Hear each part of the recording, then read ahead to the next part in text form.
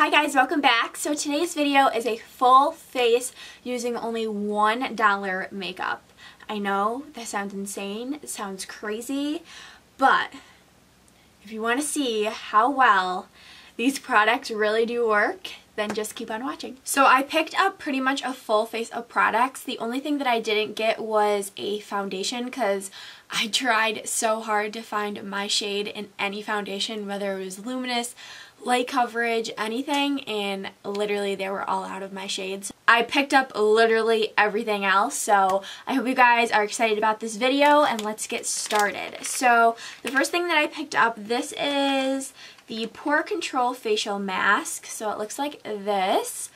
And pretty much this is hypoallergenic, it's a sheet mask, and it's paraben free. It's supposed to fight against sagging skin, blemishes, large pores, and oily skin. So it's a sheet mask, so you just leave it on your skin for 20 to 30 minutes, remove it, and then apply your moisturizer, and your skin is supposed to feel amazing.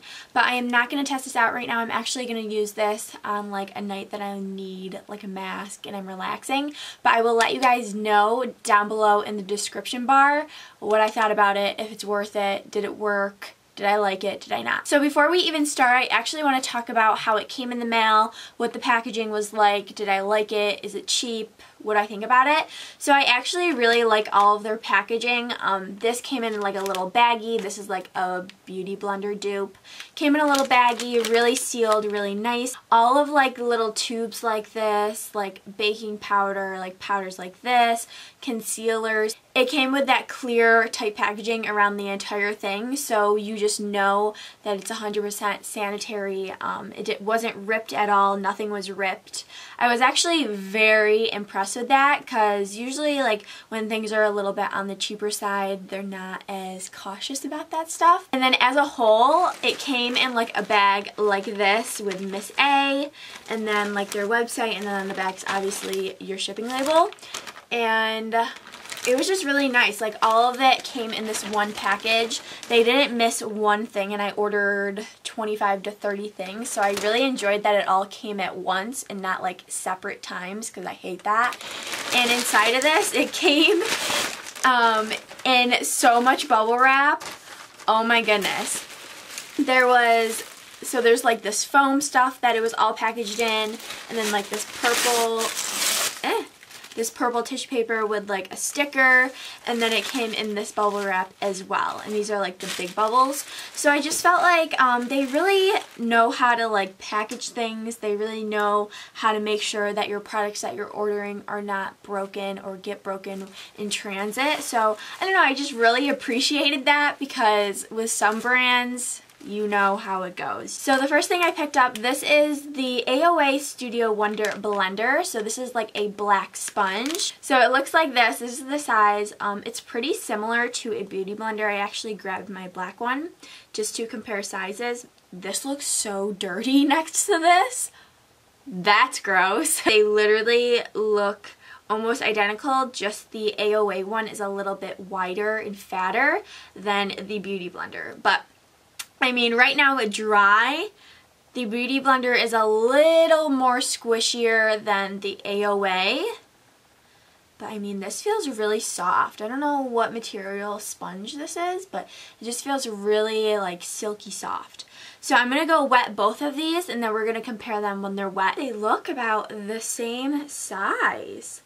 Don't those look very similar? I think the AOA one is just a little bit wider than the Beauty Blender, but man, they really perfected that size. Oh my goodness.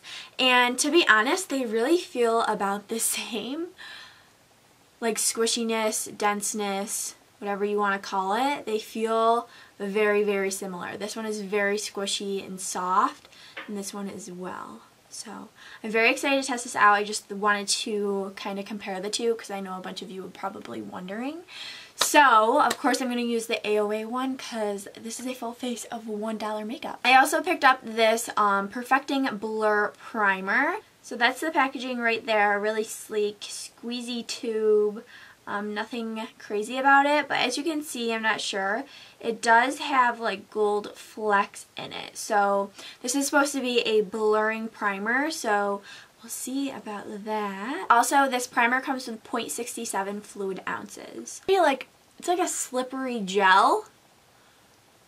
Oh boy. I'm not sure how well this is going to fill my pores. But I really like the scent of it. It's like fruity in a way. Yeah, a little bit of fruity, maybe some flowers. It's really nice. It doesn't smell like chemicals at all. You can't really see the glow flecks on your skin. They're like very, very, very faint, so I don't think they're going to do much. So I'm just going to take a little bit of LA Colors um, foundation. This one is awesome. It's full coverage, very lightweight. Alright, and I'm going to use the new sponge to blend this out.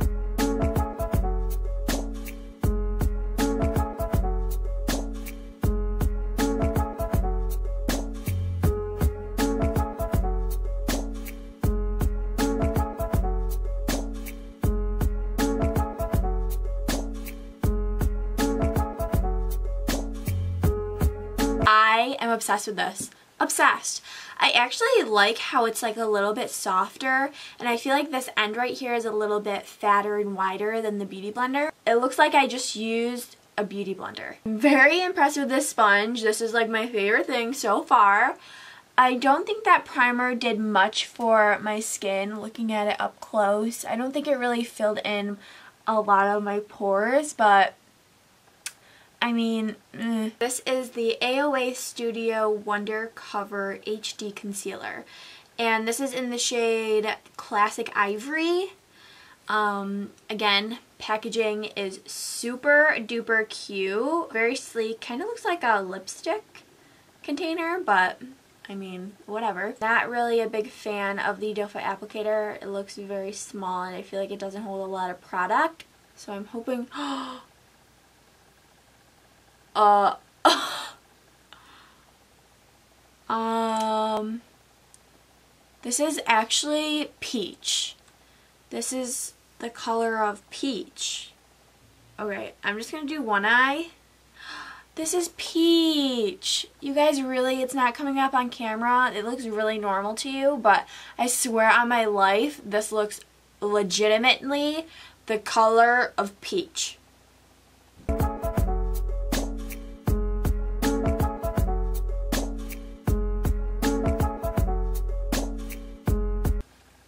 It's very strange. So it blended out really nicely, but the color is just not what I was expecting. I was expecting like a very light shade, you know what I mean? Not like a peach color. So it didn't really highlight at all, but it blended out really nicely. So I feel like this shade would work for you if you have dark circles. It doesn't really feel heavy underneath my eye at all. It's got really good coverage, I'm not gonna lie, it really does. It doesn't feel that heavy at all and it blends out pretty nicely so I might actually go back on their website and order it in like my legitimate shade. So the center of my face literally is starting to look a little bit red. So I'm just going to grab one of my concealers, a lightweight concealer, just to kind of counteract it, you know what I mean? That looks so like pink. I'm just taking the Maybelline Fit Me, just going over it a little bit the next thing I picked up was two setting powders. So this is the AOA Studio Perfect Setting Powder. So I got two shades. One is soft light and then one is brightening. So they're a little bit different colors. So the brightening powder is like a little bit more of a peach tone. The soft light powder is more of like a just a regular translucent powder. So since I don't really want to add any more peach onto my face because I'm starting to look a little bit orange, you guys can tell, I think I'm just going to go in with this soft light one, hoping this will just lighten me up a little bit.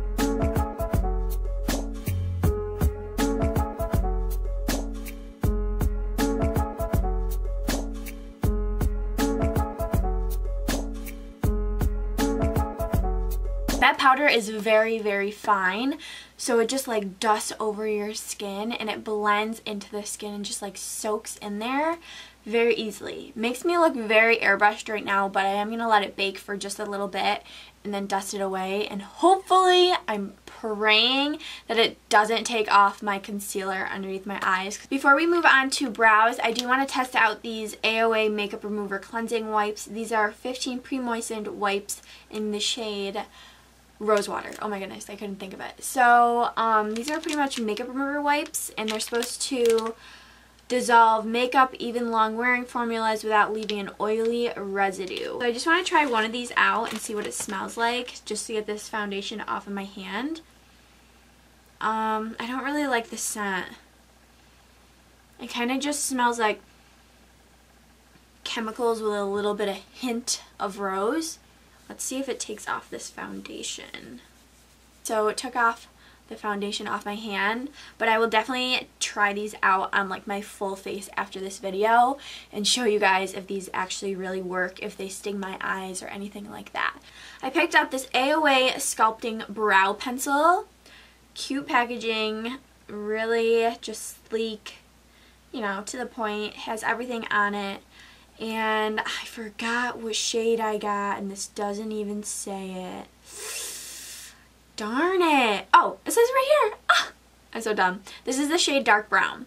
So this isn't like a skinny pencil. It's one of those like triangled shaped pencils. So this does have a spoolie. Works pretty well.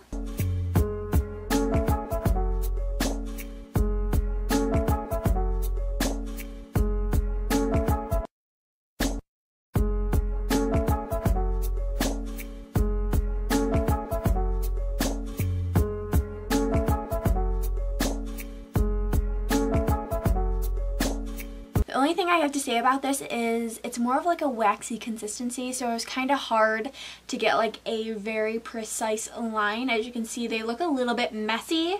I mean, you can always clean it up with concealer. So I mean, for $1 eyebrow pencil, I'm really not saying it's that bad at all. It has a lot of color payoff, as you can see. Very intense, very dark, very opaque. This is what they look like.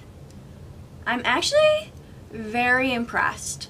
$1 eyebrow pencil and this is how they came out. This is better than some 10 $12 eyebrow pencils at the drugstore, so I'm actually very impressed. This is the AOA, I hope I'm pronouncing that right. If I'm not, I'm so sorry. But this is the AOA Studio Go Brow Fiber Gel. I got this in dark brown as well because they didn't have clear and I'm actually really scared how dark this is. Let's just go really light kind of just set the brows. So I'm not the biggest fan of this. Um, they definitely hold them in place, but they kind of feel stiff. For my bronzer, I picked up this little A2O bronzer. Doesn't that look so small? It's not, trust me. It's a magnetic pan. How nice is that?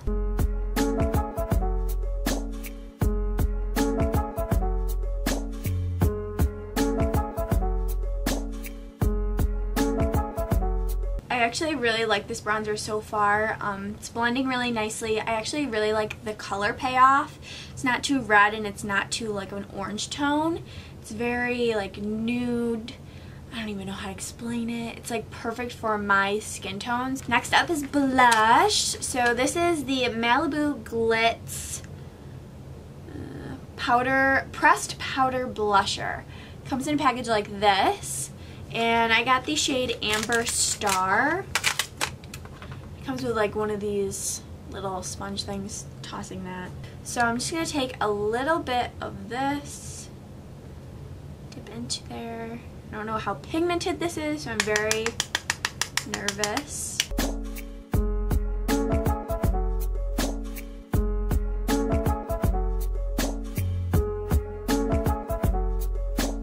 I think that is so cute.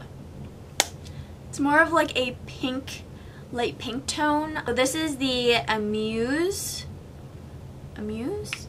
Amuse? I don't know. Cosmetics Illuminate Pro. And this is in the shade Medium. I wanted to get light, but they were all out. So it comes with like a little brush underneath. I'm not even going to try this brush. Oh, that's so cute. comes in the mirror underneath, so you can literally see yourself applying your highlight.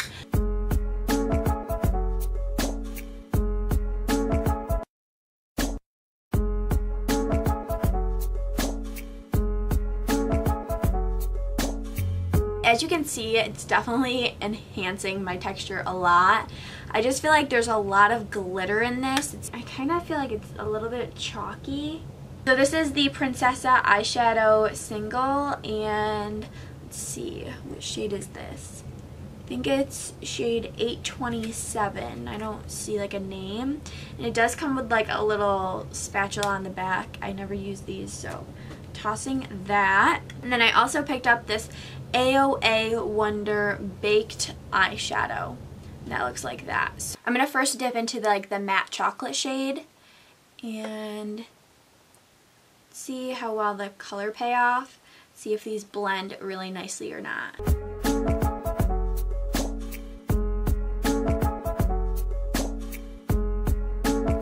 Right, not the biggest fan of this matte shade the more you add on and like the more you blend it out, the more it kind of just like disappears. Yeah, I don't think that color really shows up on your eyes a lot. It kind of just like blends away as you keep blending. As you can see, it's not like really pigmented at all and it's kind of like messy. It doesn't blend very well, so I'm not the biggest fan of this. So now let's test out this baked eyeshadow. I think this is so pretty and this pan is pretty big.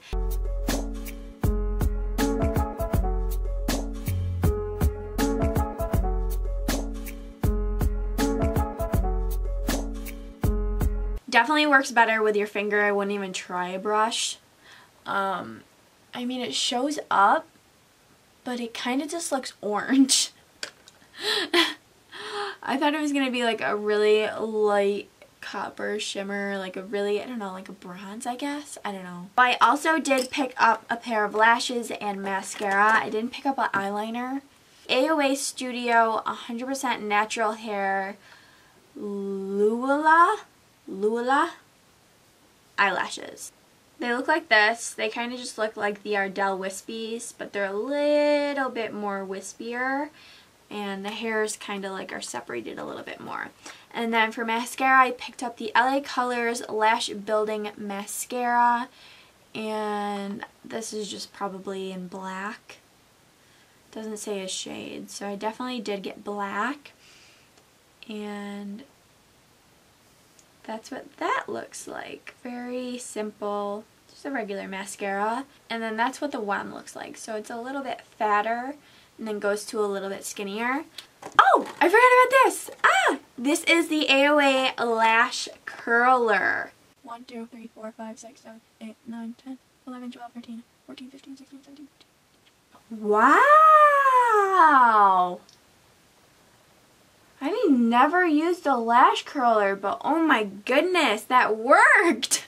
For my glue today, I am using the House of Lashes eye glue or lash glue. I don't know why I just called it eye glue. Lashes are on. Um, they're very big, voluminous, but I actually really like them. I don't know. I think they're cute. They're like very dramatic and very out there, but they're very easy to apply. They definitely do have more natural ones if that's what you're into, but I mean, these are just like so out there. I'm just going to apply some mascara over my natural lashes just to make them blend a little bit more and on my lower lash line.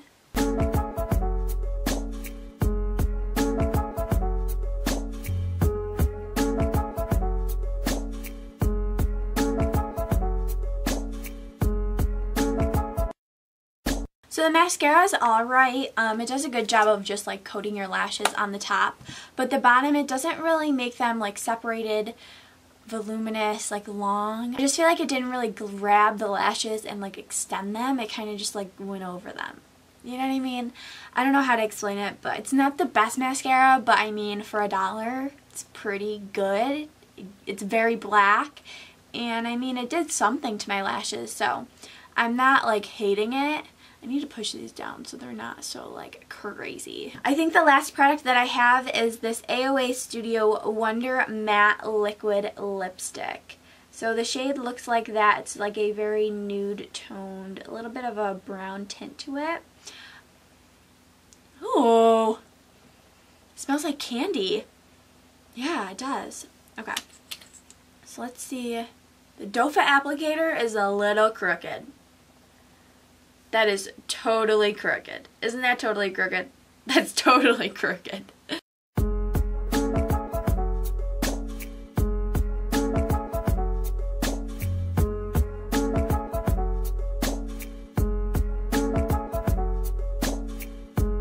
So this is the lip color. I actually really like this lip color. It's very pretty. It's like a very, it's like a darker nude. It's kind of oxidized as I've applied it. It was definitely a little bit more orange toned when I applied it, but I definitely love this color. I'm obsessed with it. Oh my goodness. Even though the doe-foot applicator was a little crooked, it applied really well and it didn't dry down too fast. It's not really sticky. It's very comfortable, very lightweight. So overall, I am very impressed with this haul. I was not expecting these products to perform like this. And a big thank you to Miss A for sending me these products to test out in this video for you guys.